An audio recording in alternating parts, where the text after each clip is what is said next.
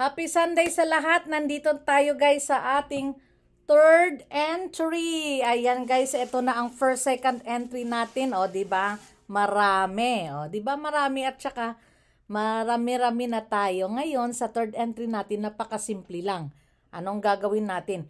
I-share natin ang third video, itong third entry video natin sa inyong family and friends na hindi pa ninyo na itag. Remember, pag marami kayong entries, more chances to win sa ating balikbayan box.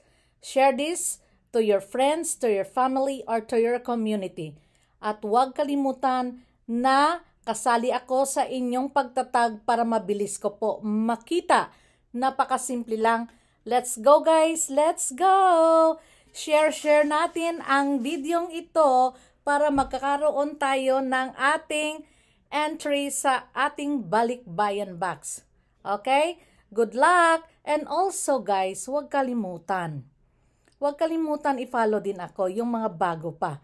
At huwag din kalimutan na i-encourage nyo din yung mga tinag nyo na mag-participate dito. Malay mo, sila ang mananalo, 'di ba?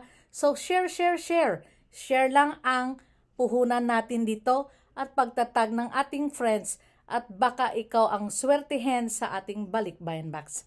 Good luck!